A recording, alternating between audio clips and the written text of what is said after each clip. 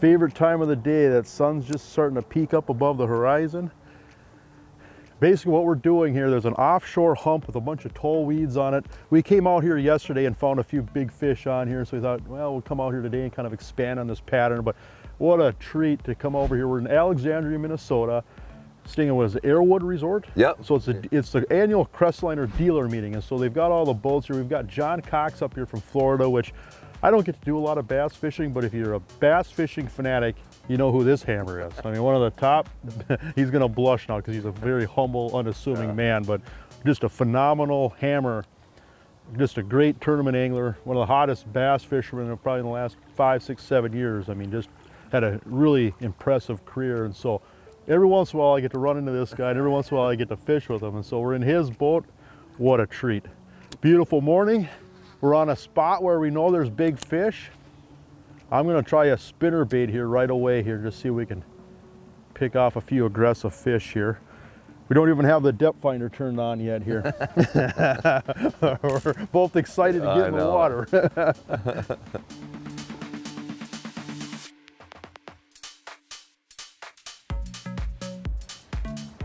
Oh, there we go. There we go. All right. All right, first one of the morning. Oh my gosh. We just barely missed the spot. That's how crazy. How Yeah. close you got to get right where they're like right in that one nice area. fish. Yeah, look at that. I mean, he came up and smoked it. All right, nice work. Oh.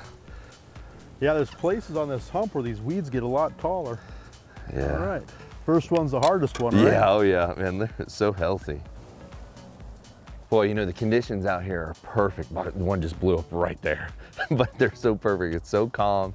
There's there's a bunch of bluegill. What else? There's some there's some other kind of bait fish out here. like shiners or something yeah, some- surfacing. Yeah, I mean, it's just, uh, you know, and we're out in the middle, the dead middle of this lake, uh, which I'm not used to, but it's a little high spot and you can see some of the grass.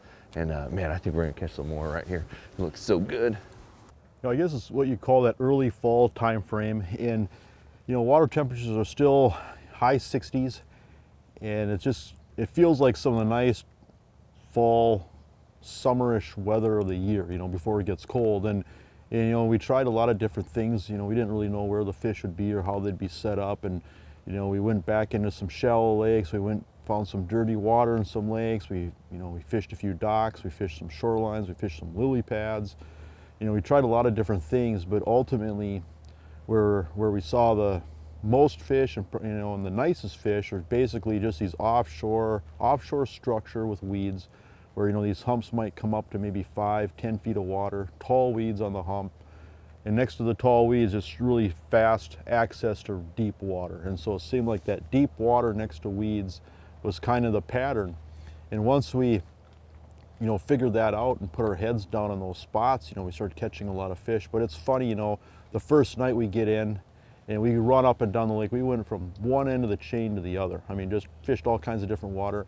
And probably one of the first spots, second spots we hit, you know, is probably the best spot that we found, you know. And so, but we, obviously we had to check everything out. And, you know, every time you look at the map, and oh, this next lake up looks even better, you know. You know, but that's part of the exploration that to me is just so much fun. Is it's just fun going to new water and trying to figure it out and find fish. That one scared me to death. oh my gosh. Oh, yeah. that's a oh nice gosh, fish. that's a nice one. That's a nice. oh gosh, fish. he's only got the back hook. nice. Oh my gosh. One here. more, and I'm switching to a Oh. top water. Man, that was so awesome. Boy, he inhaled that thing. When you can hear that boiling, That was, yeah, that was that's good stuff. That was such a vicious strike. I mean, we got all the right ingredients here. We got the birds, you know, we're out in this hump out in the middle of the lake. There's some bait fish just kind of dimpling on the surface. Oh man, that was so cool. That was cool. The top water, uh, it's just forever, you know, visual strikes is just, that's, I love seeing a fish come up eat a top water. Uh, you know, it's what wakes me up in my sleep at night sometimes, you know, seeing that, you know, that fish either come up and get it and miss it or catch that fish. And, uh, man, it's just, it's exciting. It's just something that I feel like I can throw all day long. And, you know, sometimes it works out and sometimes, you know, I catch a few in the morning and then I don't catch anything the rest of the day, but I keep it in my hand and, uh, yeah, it's just, it's just a, my, it's one of my favorite techniques for sure. Yeah, the last couple times I've been up here, I've really considered uh, you know, in summer it gets so miserable in Florida. this is a place I want to move to. yeah, it's a nice place to be. Oh, There's got him. Yep. Oh gosh. Oh Whoa. yeah. Nice. Come on up here. Yeah, here we go. Oh man, that's a nice one. That is a nice fish. Right up on top of that flat where you'd expect a fish to be right away in the morning, huh? All right, I'll get that in the water. Oh yeah, that made a splash. that fish just clubbed it. He hammered it. You know, and it seems like with bass fishing sometimes, especially in the morning, you know, when that, that sun penetration is changing really quickly, you know, as the day progresses, it's like you're just picking up different rods all the time. You know, and so John, you know, he starts out with a top water. I'm throwing a spinner bait.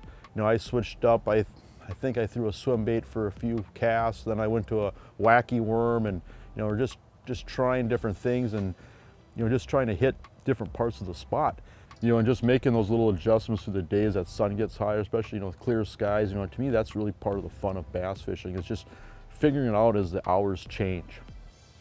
Oh, there's a big bass right here. Is there? Yeah. Oh yeah, wow. Got a worm we can drop on him. I'm gonna borrow your rod here for a second. Still see him? I don't, want him. somewhere over here. I'm gonna maybe try a t- wacky Yeah, worm. I just here. picked it up. Did you? I just picked, I just grabbed your rod. Handle's probably on the wrong side. It is on the other side. That's all right. sabotage you however I can. I got a feeling you could catch fish with a Snoopy rod. Uh, You're one of them know. kind of guys. This one does feel so weird. oh, here, I'm gonna, I'm gonna go back to the top water. It- I'm gonna throw funny. that a little bit. Oh yeah, It- we were both kind of feeling it there for a second. Yeah.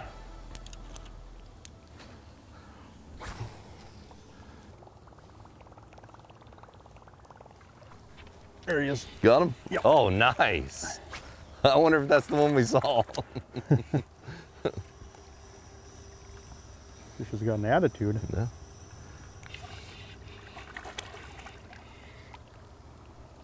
Oh, come here. Well, I don't know if that's telling us something. Second cast with this. yeah.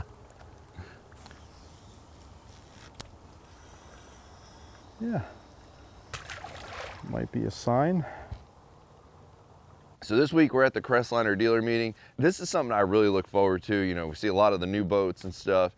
Uh, get to see a lot of the dealers, a lot of people I haven't seen in a while, and uh, that this might be the only opportunity to see them. And uh, it was just really cool that you know I got a hold of Jason and we, and we were like, man, let's go fishing, and we got you know got this opportunity uh, to go out here on these lakes. And uh, man, I mean, I, I was as soon as we uh, you know set the date that we were going to get to fish this week. I mean, I was I was super excited, and uh, I couldn't wait to get out there. There we go. Oh, got him. yeah, I got him. Oh gosh. The better one? Oh, not bad. This is just ambitious. oh, this is fun. Boy, that was such a good call going to that worm. You know it? It's like that I think quick. this worm catches fish just about everywhere out here, though. I mean, I think that's a tip, a safe tip you could give is in Minnesota with these weed fish, throwing a wacky worm is pretty tough to beat. Here we go. Yeah, not a big fish, but maybe it's a sign of a pattern. We know there's big fish in here. So we saw a few out here yesterday. and We saw a big fish swimming around in front of the boat here a little bit ago. So we know that they're around. We just got to catch one. You know, what's funny about John is, you know, they've changed rules in professional bass tournaments because of John. you know, where, you know, he was taking these flat bottom aluminum boats and going through box culverts and going up into, you know, going over shallow spots. And I mean, the, the tales and the stories are legendary of what John would do to get to a piece of water that the big fiberglass boats couldn't get into. And he'd win tournaments that way. And what I find interesting is that John spends a lot of time fishing shallow. There's times where I've talked to John where he broke the transducer off the back of his boat getting into a shallow spot, and this was in February. And the transducer is still laying in a splash well in October. He didn't even have a transducer on the boat all year long. Okay, and you know, fishing less than five feet of water. I mean, the guy has cashed a lot of checks fishing in less than five feet of water. And what's interesting is in today's world, you know, you look at how forward-facing sonar is changing the game and, and you know, really revolutionized a lot of fishing, you know, especially with smallmouth bass and walleye tournaments. But, you know, here's a guy that zigged instead of zagged, you know. Everybody is offshore, that's the hot trend, using forward-facing sonar. And then here's a guy that's fishing in less than five feet of water and, and beating a lot of these people, you know. And so it's kind of a deal where you look at fishing and sometimes you just have to zig when everybody else zags. You just have to find something different that's your own and you can do really well with that with fishing. There we go. Got him? Got him. Oh man. Gosh, that was about as far as I could throw. Keep wondering when that topwater thing's gonna dry up on you, I but know. You, you keep milking it, riding out. But what is it kind of the saying that one fish on a topwater is better oh, than he got lost him. five fish oh. on a jig because it's so fun? Oh, I know it. That's the best part when they hit that thing. Yeah. Oh. I throw a top water a lot when everything tells me, oh, it's not going to work, just because it's so fun. Yeah. I know, honestly, after that one came up and inhaled it, I'm pretty much doomed the rest of the day. I, I understand. yeah. Yeah. Yeah, I think there's just, I think there's a lot more fish grouped up here on the tip of this thing. Oh, there they are. When's, when's the last time you fished where the bank was? Honestly, this is the second time this year that I fished where I can't cast and hit the bank. So I, I'm, I'm practicing. I'm working. I mean, to me, if I tell anybody this story when we went fishing, we're, we're I'm offshore fishing today. Even though we can see the bottom out here, we are nowhere near the bank. Oh, I think that's great.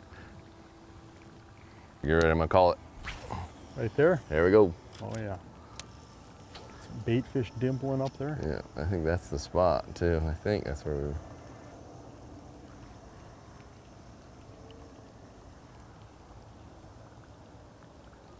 Got him. Yep. Wait, how does that work? I call it and you catch them? Come on. This is a better That's fish. a nice one. Oh, gosh. Oh, whoa. whoa. Whoa, get him up out of those weeds. Oh my. Well, that is a big one. Yeah. Oh no, he just got off. No. Oh gosh. Golly, that was that biggest was a really big on one. Oh, right on the tip of this point. oh though. my gosh. Oh my. That was a big one. That was. Oh, heartbreak. Oh. You know, running a aluminum boat has given me a lot of uh, advantages over the years. I mean, it, and, it, and one thing I just, I, I love being comfortable while I'm out there. That's my whole thing. I, I like, you know, I fish shallow because I want to be comfortable. Uh, you know, I run, uh, you know, my aluminum boat because I want to be comfortable. And it's kind of what I grew up fishing in, you know, fishing John boat clubs and stuff when I was younger. And uh, it's something just familiar. Uh, you know, it's almost like the top water and a lot of the baits I still throw now, uh, you know, or some of the baits I threw growing up, you know, and, it, and just, uh, you know, not much has changed.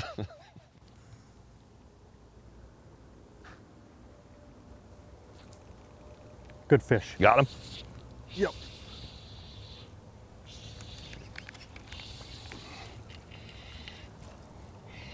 Oh, yeah.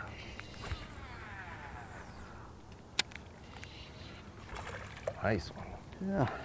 Not as big as that one I just no, lost. not though. as big as that last one. I think you figured out something though. It, Yeah. Yeah. that top water bite's slowly going away. Fish got my worm. And you Uh-oh. know what? These fish are just so nice and clean looking. You Oh yeah, gosh, you Dark can tell. colors. Yeah, you can tell they eat really good here. Clean nice and lips on healthy. 'em. Mhm. Yeah.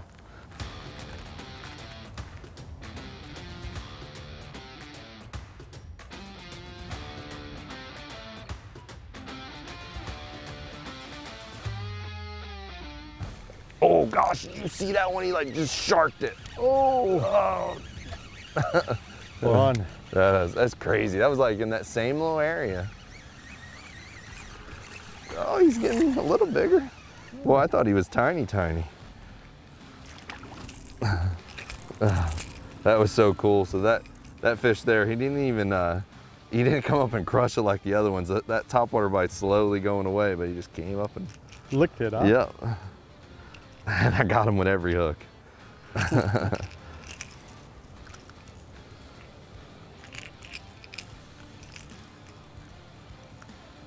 never gets old though, that's for sure. Hope it never does. Oh no. You know what I like too is, you know, I don't know if I've ever been on this chain. It's just fun exploring. Oh yeah, that I mean that was the best part. That little bit we got out and you know pushed the boat over those sandbars and stuff. That was Yeah. I mean, that was a lot of fun. Yeah, so we went up and down this chain, and of course, you always got to go to the farthest side away. That's just human nature, right? Yeah. And we had to go through the tiniest bridges and tunnels and got up into some places where people probably normally don't see many boats, especially this big. And uh, after it was all said and done, we thought, well, the best thing we found is right out in the middle of the lake. One of the first spots we checked. Yeah. so crazy. That's how it goes, though. I don't know how many times, Oh yeah. you know, in like if there's a, if there's a, if, I could have a thousand acres of water to Yeah. fish, but there's one acre over there Yeah. that I don't know if I can get to. right? I gotta go over there. Yeah. Oh, yeah.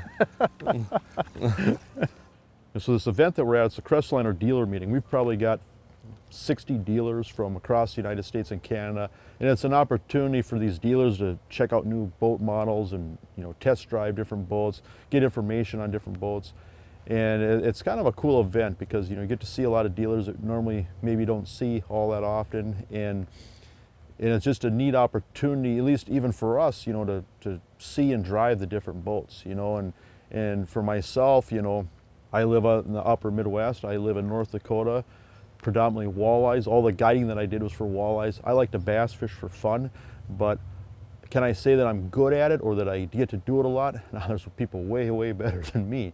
Well, when I get to fish with a guy like John Cox, who's just a, a hammer of an angler, you know, it's a it's a real joy because I get to learn a lot and it's just fun to kind of pick his brain and watch how he does things, watch how he approaches things. I, I find that really enjoyable. And I follow the bass stuff really closely because I always feel like I would consider myself a walleye angler or maybe a multi-species angler that likes to fish for a little bit of everything.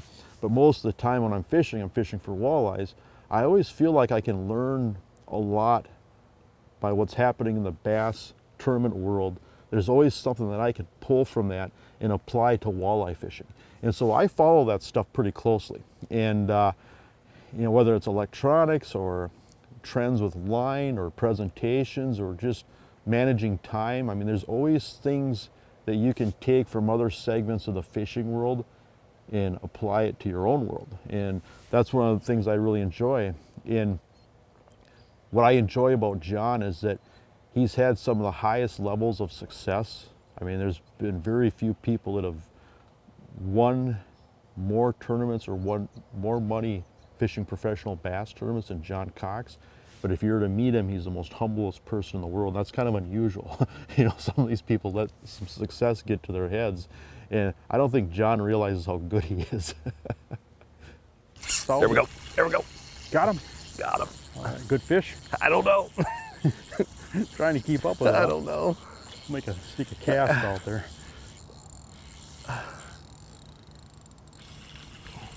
Acting like a nicer fish. Yeah, I think he just might have a bunch of grass on him. Okay. Ah, he's not too bad. He had some grass though. Got a little bit of salad. Oh, swapped up to the jig there. Oh gosh, he barely got it. that was cool. It's crazy how quickly they went from the top water just completely done, Oh, like yeah. nothing. I got one Got here. him. Yep. Got him. Oh, that's pretty close to a double. that's pretty cool. Oh. I'll put mine in the water here. Just a nice, oh, respectable oh, yeah. fish. Oh man. Yeah. Yeah, we'll count it, right? Yeah. That's close enough to a double. Good stuff. That's pretty cool. Yeah, these fish are just beautiful. All right. Little school of them there. Yeah.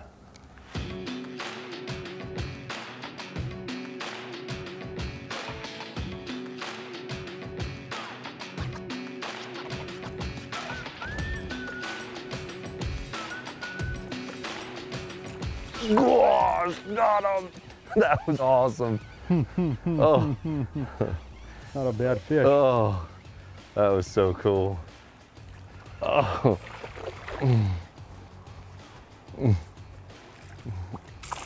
Oh, that's a better one. Gosh, this look how thick better that one. one is. Look at that. yeah, that's cool. Boy, he's been eating good. That's so crazy. We had I had three or four of them smoke it and and just not get it. Look, just barely got him on that one hook. Look at that. nice fish.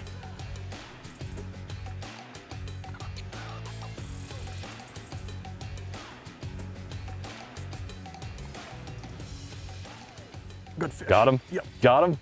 Oh my gosh, you got him. That's the one. Oh, that's a good fish. that was so perfect. Yeah, this is half yours, John. You're the Oh one no, that no. brought him no, up. I missed him. I, it scared me to death. I jumped so hard. Oh, Oh yeah, there we go. oh, Oh here, I'm gonna grab that one for you. yeah, that's a nice fish. Oh yeah. Oh, come here. Come here. Oh, All we got right. him. Oh man, that, That was is a- awesome. that's a beautiful fish. man, look at that. Good stuff, man. Oh gosh. Been a fun day. Good follow up there, man. that was awesome. Yeah, Wacky worm. that is a beautiful, beautiful bass. All right. Thank you. There she goes. Well, I tell you what.